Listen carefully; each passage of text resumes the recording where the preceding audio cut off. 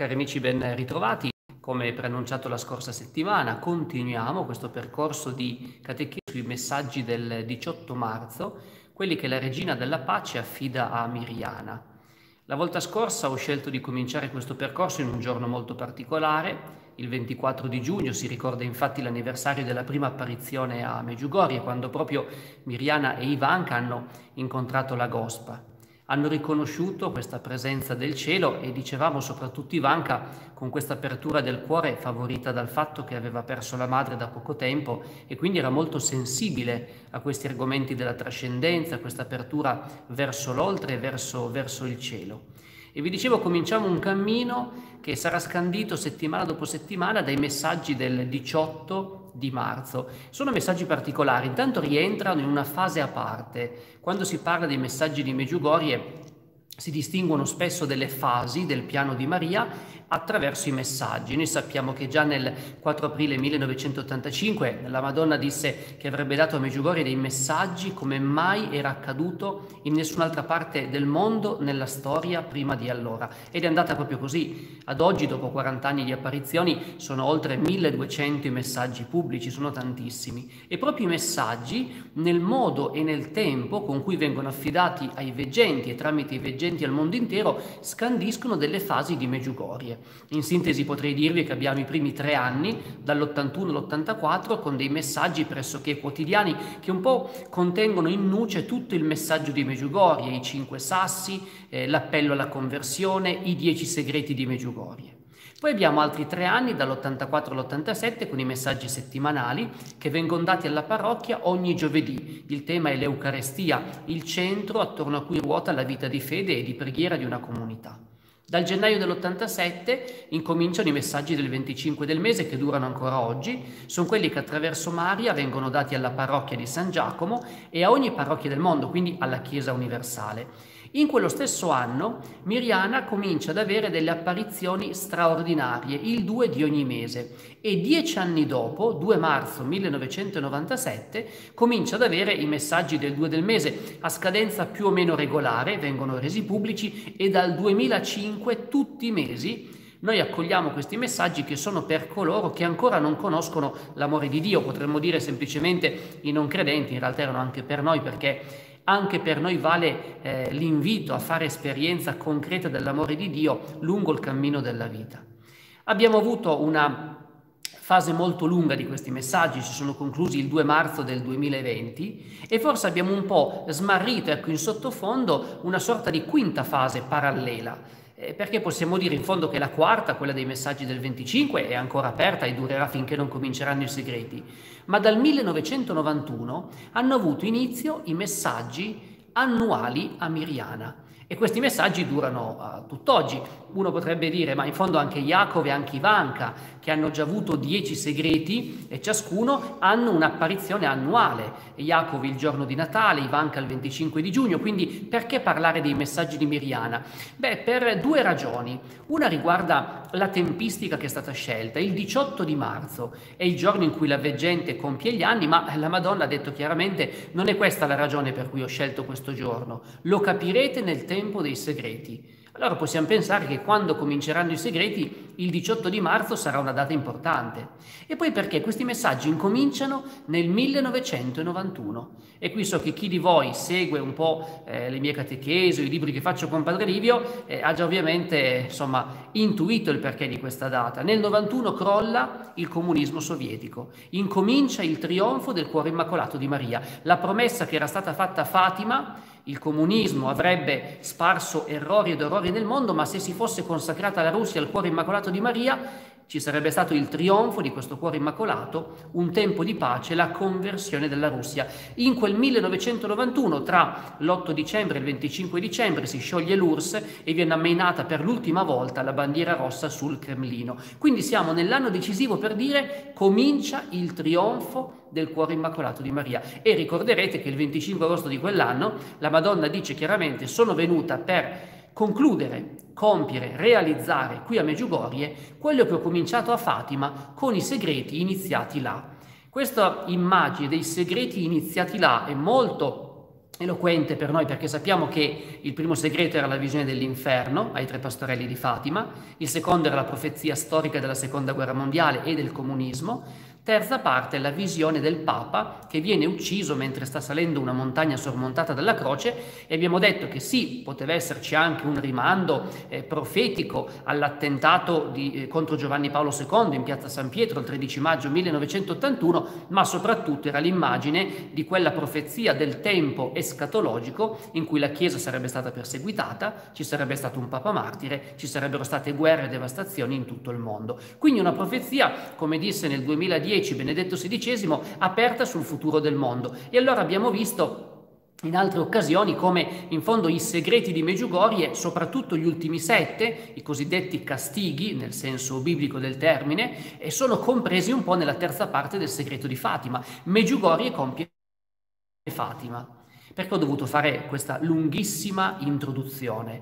E intanto perché non posso dire tutto ogni volta, dobbiamo introdurci e, come si può dire, consolidare un po' le premesse prima di entrare nel vivo dei messaggi del 18 di marzo. Ma queste premesse sono fondamentali per comprendere il significato e l'importanza di questi messaggi. Se nel 1991 incomincia il trionfo del cuore immacolato di Maria, che sappiamo si concluderà dopo il tempo dei segreti, se nel 1991 viene detto che Meggiugorie completa Fatima, è evidente che un secolo di prova corre proprio da Fatima a Meggiugorie. Ed è evidente che concludendosi questo secolo ci saranno i segreti. Ecco perché prepararsi ai segreti, che è l'intenzione di queste brevi catechesi, significa anche conoscere il contesto di attesa escatologica in cui si collocano questi messaggi. Perché ho parlato di un secolo di prova? Perché prima ancora di quel 1991, fin dal principio, fin dalle prime apparizioni, la Madonna aveva spiegato che cosa era in gioco. Mi riferisco al messaggio che commento questa sera del 14 aprile 1982. Dovete sapere che Satana esiste. Egli un giorno si è presentato davanti al trono di Dio e ha chiesto il permesso di tentare la Chiesa per un certo periodo, con l'intenzione di distruggerla. Dio ha permesso a Satana di mettere la Chiesa alla prova per un secolo, ma ha aggiunto non la distruggerai. Questo secolo in cui vivete è sotto il potere di Satana, ma quando saranno realizzati i segreti che vi sono stati affidati, il suo potere verrà infranto. Già ora egli comincia a perdere il suo potere e perciò è diventato ancora più aggressivo. Distrugge i matrimoni, solleva discordie anche tra le anime consacrate, causa ossessioni, provoca omicidi. Proteggetevi dunque con il digiuno e la preghiera, soprattutto con la preghiera comunitaria. Portate addosso oggetti benedetti e poneteli anche nelle vostre case e riprendete l'uso dell'acqua benedetta. Ecco, vedete questo messaggio che con Padre Livio citiamo tantissime volte anche nei nostri libri, nelle nostre trasmissioni, è veramente denso. Dovete sapere che Satana esiste. Sembra scontato, una verità di fede, lo afferma il Catechismo. Andiamo a leggere i numeri 1033 e 1037 e vediamo come l'inferno e il demonio siano dei contenuti di fede essenziali per il cristiano. Perché se uno dovesse chiederti per quale motivo Gesù è morto in croce, non è morto per far vedere che, non so, la pace è un ideale per tutti i tempi e tutte le stagioni. E neanche è morto perché Dio avesse semplicemente bisogno di chissà quale sacrificio cruento per ripagare chissà quale peccato dell'umanità.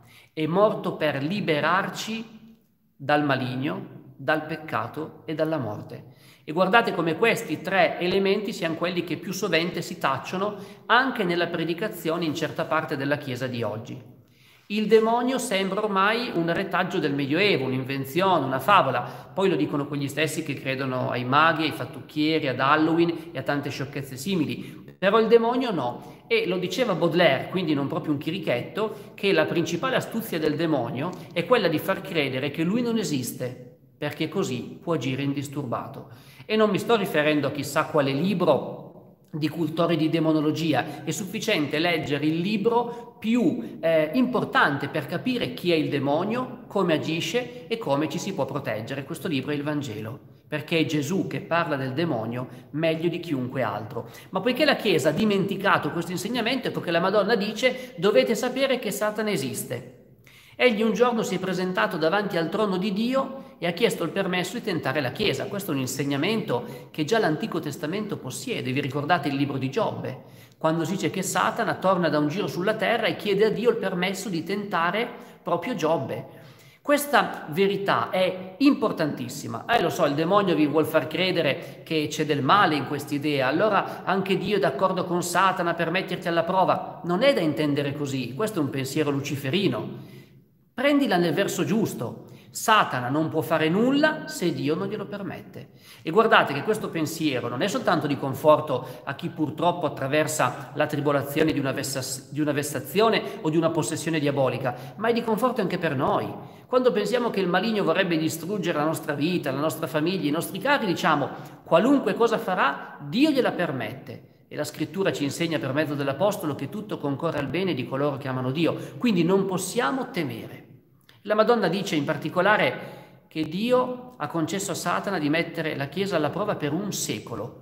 Questo secolo in cui vivete è il XX secolo, perché siamo nel 1982 e sotto il potere di Satana. È il secolo delle ideologie del male. Leggete quel bellissimo libro di Giovanni Paolo II, che è anche il suo ultimo libro scritto, Memoria e Identità del 2005, e vedete come il XX secolo raccoglie tre secoli di allontanamento da Dio sotto il cappello delle ideologie del male, nazismo, comunismo, fascismo, che poi però vediamo non rappresenteranno la fine del pensiero anticristiano, perché come ben ha detto Benedetto XVI ci sarà poi una dittatura ancora più pericolosa, quella del relativismo, per cui non c'è più verità, non c'è più Dio, non c'è più morale. Hm? E così si perde anche il senso dell'uomo e della vita. Ma intanto la Madonna dice, questo secolo è sotto il potere di Satana, un secolo che va da Fatima a Meggiugorie. Ma quando saranno realizzati i segreti che vi ho affidato, il suo potere verrà infranto. Intanto ci conforta il fatto che Dio dice io ti permetto di mettere alla prova la Chiesa ma non la distruggerai. Quindi con buona pace di quelli che dicono eh, il Papa non è il Papa, la Chiesa non è più la Chiesa. Fi- no, la Chiesa c'è. La Chiesa è santa perché è di Cristo, la Chiesa è indistruttibile perché, come ha detto la Regina della Pace il 2 dicembre del 2015, mio figlio le ha dato un cuore che è l'Eucarestia. L'Eucarestia è Gesù vivo, indistruttibile. Quindi la Chiesa durerà fino alla fine dei tempi e poi ovviamente sarà questo corpo mistico glorificato nell'eternità del cielo, sarà la Chiesa trionfante, ma già adesso questa Chiesa peregrinante subisce questi assalti satanici perché è chiamata a vivere la passione che già Cristo ha vissuto il Calvario, la morte in croce, per poter poi risorgere. Quindi non stupiamoci di questa prova, ma anche Gesù ce l'aveva detto, se hanno perseguitato me, perseguiteranno anche voi. Il discepolo non è da più del maestro. Dio ci rassicura la Chiesa non verrà distrutta dal demonio, però viene messa alla prova. Lo permetto io, quindi state tranquilli. E la Madonna rincara questa dose di rassicurazione materna, come sa fare lei, dicendo guardate che poi il suo potere verrà infranto. Cosa vuol dire? Non verrà spazzato via il demonio. Sappiamo che i tempi della prova sono Due, come nel libro dell'Apocalisse si fa capire, c'è un tempo in cui Satana viene incatenato, l'Apocalisse usa un termine simbolico, i mille anni, la Madonna lo vedremo nel messaggio del Natale del 99, parla di un secolo di pace che verrà concesso al mondo dopo il tempo dei, segra- dei segreti. Un secolo o più di un secolo, comunque sono due combattimenti escatologici. Nel primo è la Madonna, la donna vestita di sole che affronta il dragone infernale, che vince il suo trionfo del suo cuore immacolato, compie il tempo dei dieci segreti, ci sarà un tempo di pace. Satana non è eliminato per sempre, il suo potere è infranto, indebolito, è come se finalmente la fede potesse trionfare nel, nel mondo, ma poi di lì a poco, un secolo o poco più, l'umanità sarà ancora tentata di ribellarsi contro Dio e lì sarà l'ultimo dei combattimenti, quello in cui Lucifero eh, sarà fronteggiato dal Signore stesso, ci sarà la parusia, il ritorno di Gesù nella potenza e nella gloria e la fine dei tempi tempi. Questa raffigurazione così apocalittica potrebbe indurre qualcuno a dire ma queste sono tutte storie, queste sono fantasie della Chiesa, del Medioevo, ma guardate con che concretezza la Madonna spazza via il dubbio di chi dice ma figurati se il demonio esiste, figurati se opera. Io ti faccio vedere come agisce, tu capisci che esiste. Distrugge i matrimoni. Il 2019 è stato l'anno del sorpasso, me lo sentite ripetere tante volte, perché in Italia il numero di divorzi e separazioni come totale ha superato quello dei matrimoni civili o religiosi.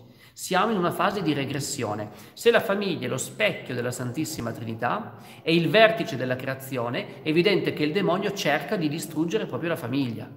Ci sono le discordie anche tra le anime consacrate, mai come in questo tempo la Chiesa è divisa parroci contro parroci, ma anche vescovi, cardinali, ci sono tante correnti di pensiero, invidie, rancori, gelosie e a un certo punto quella preghiera di Gesù che ricordiamo dell'ultima cena, Padre che siano una cosa sola, sentiamo che vale anche per la gerarchia ecclesiastica e non solo per i poveri fedeli. E poi ancora si dice provoca ossessioni e omicidi. Le ossessioni non sono semplicemente a livello psichico, sappiamo che la depressione è la vera peste del XXI secolo, ci sono più di 330 milioni di persone nel mondo malate di depressione, hanno il mal di vivere e per quanto riguarda gli omicidi eh, non possiamo pensare semplicemente alla violenza urbana, eh, dobbiamo pensare al vero omicidio, quello compiuto con i guanti bianchi e con l'avallo della società di oggi che è l'aborto. 50 milioni di bambini abortiti ogni anno significa negli ultimi 40 anni mal contati poco meno di 2 miliardi di esseri umani che non possono vivere la loro vita.